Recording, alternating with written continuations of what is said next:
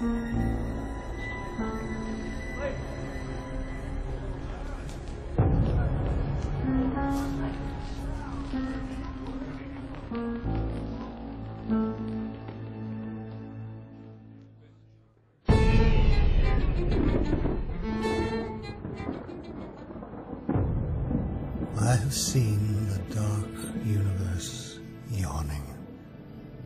Where the black planets roll without aim, where they roll in their horror unheeded, without knowledge or luster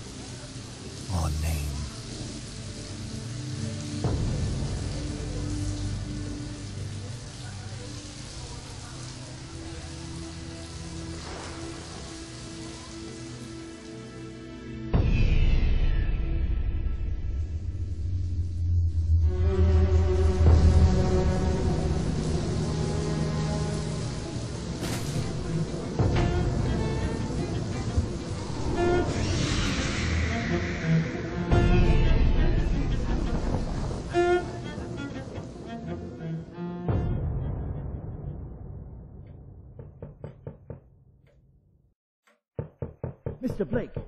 Mr. Blake! Robert Blake! He won't answer. We could see him from our window, just sitting at his desk. He hasn't moved since morning. Stand aside, please, miss. Doctor?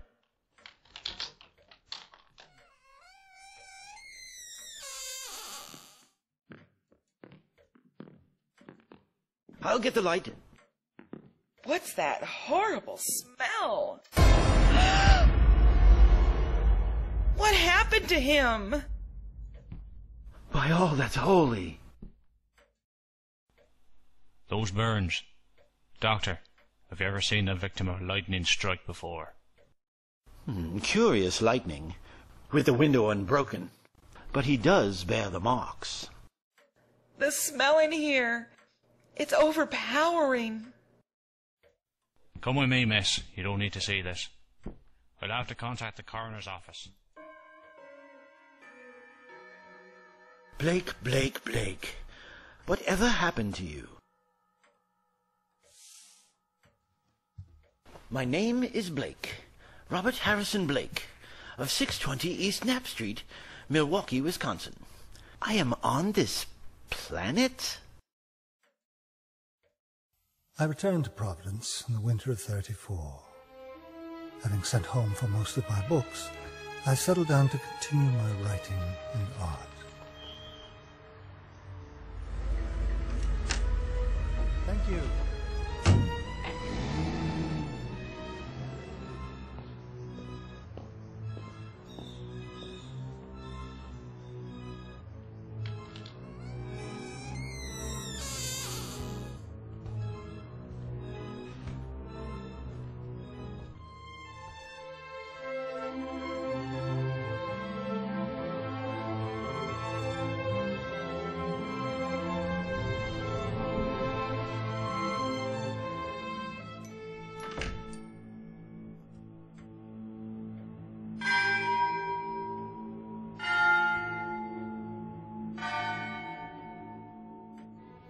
During that first winter, I produced some of my best known short stories and painted several canvases. At sunset, I would often sit and gaze out at that shimmering spire-crowned mound in the distance. But of all of the objects on Federal Hill, a certain huge, dark church most fascinated me. As the months passed, I felt myself more and more obsessed with the forbidding structure. By the spring, I could no longer write, my thoughts solely on the church and its dark secrets. The urge to visit the abandoned church was too great to resist.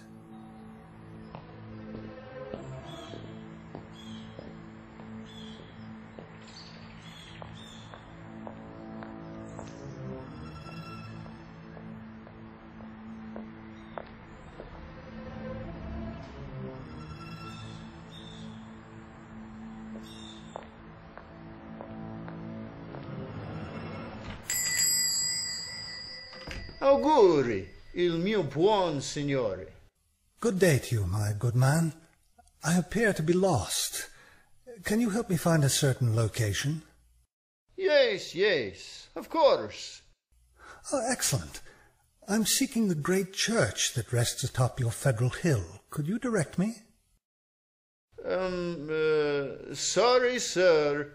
I'm no understand. The church that towers this hill, surely you know of it.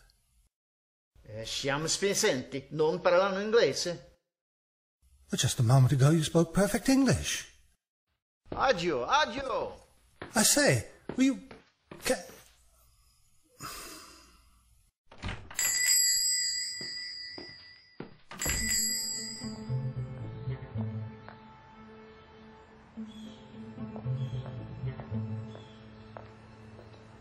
I beg your pardon.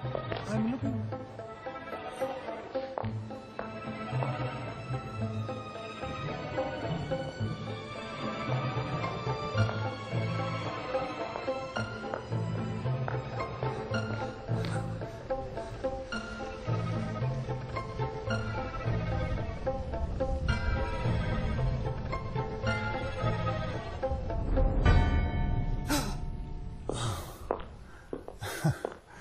Excuse me, officer.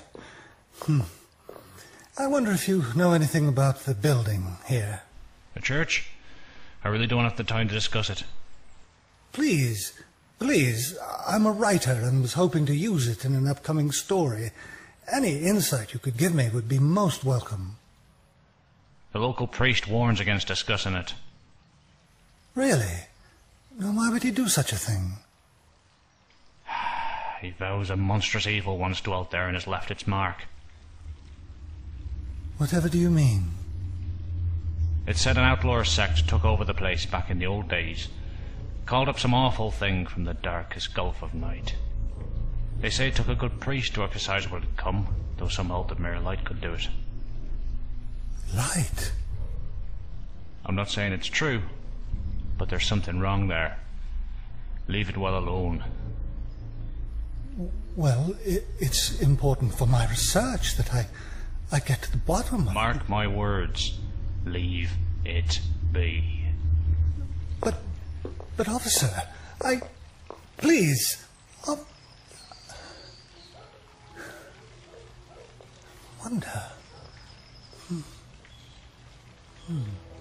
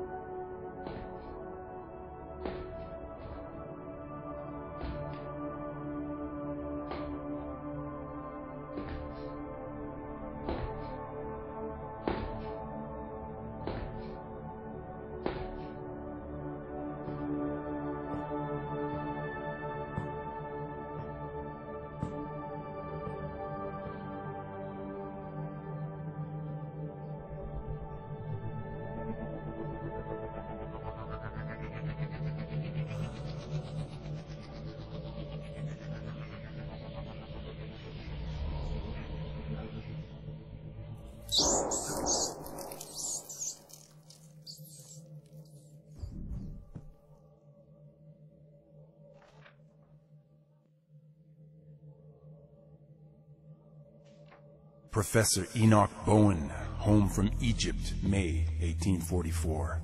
Buys Old Free Will Church in July. His archaeological work and studies in occult well known. Founds Starry Wisdom Church, 1846. Three disappearances reported. First mention of shining trapezohedron. Seven disappearances, 1848. Stories of blood sacrifice begin. Father O'Malley tells of devil worship with box found in great Egyptian ruins. Says they call up something that can't exist in light. People say the shining trapezohedron shows them heaven and other worlds, and that the haunter in the dark tells them secrets in some way. Six more disappearances in 1876. Secret committee calls on Mayor Doyle for help. Action promised, February 1877. Church closes in April. Ghost stories begin around 1880. Try to ascertain truth of report that no human being has entered church since 1877.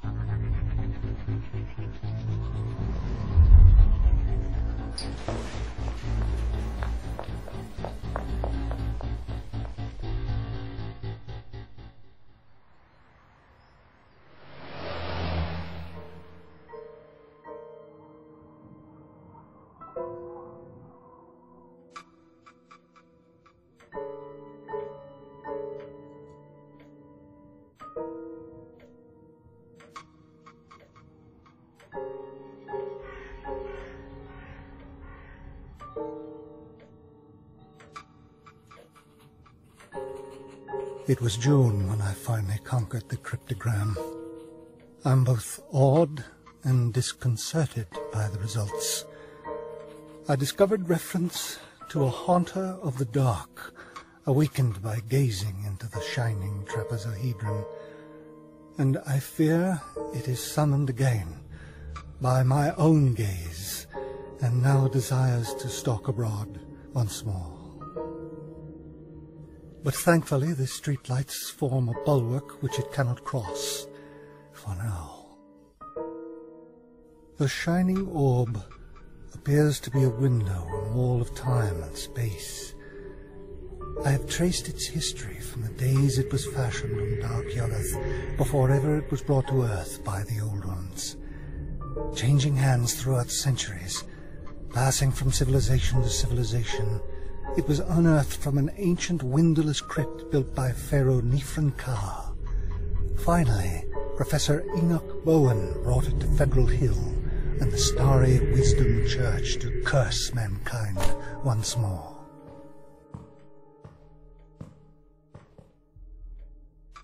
I must banish what I have evoked by letting daylight into the hideous jutting spire.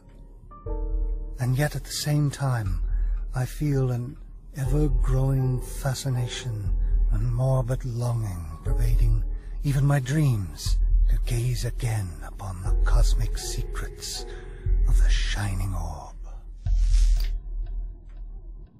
Oh, my lord, the lights!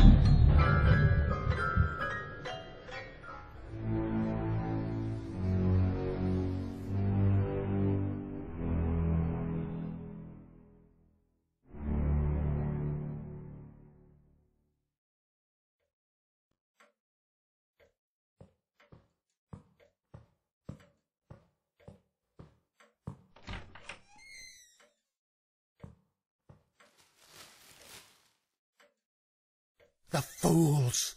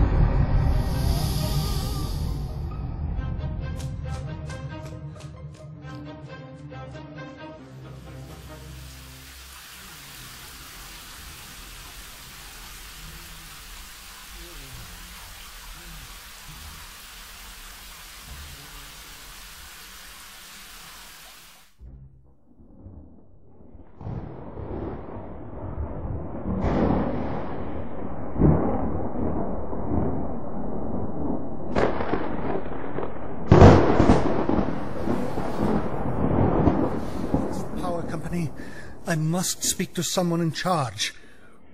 Listen, you must not lose power. You do not know what is at stake. Hello? Hello? Hello?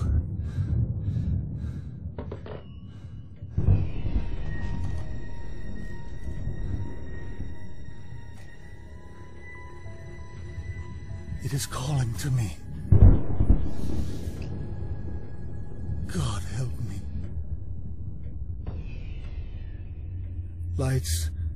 Still out. Must be five minutes now. Everything depends on lightning. The thing is taking hold of my mind. Trouble with memory. I see things I never knew before. Other worlds. Other galaxies. What am I afraid of? It is not an avatar of Nyarlathotep, who an antique and shadowy Khem even took the form of man. I remember Yuggoth and the ultimate void of the black planets. The long winging flight through the void cannot cross the universe of light.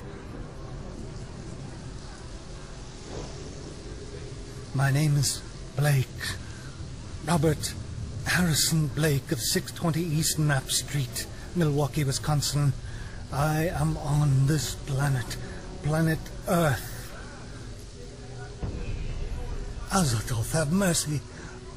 I can see everything with a monstrous sense that is not sight.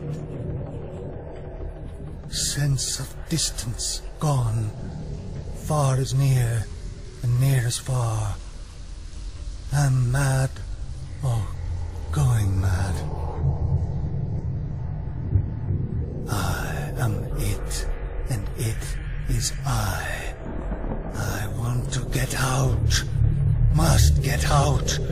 unify the forces. It, it, it knows where I am. I am Robert Blake. But I see the tower in the dark. There is a monstrous odor. Senses transfigured.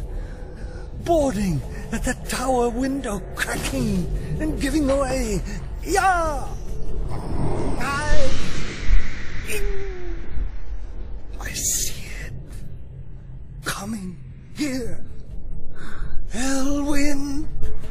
Titan Blue. Blackwing. Yog. Save me!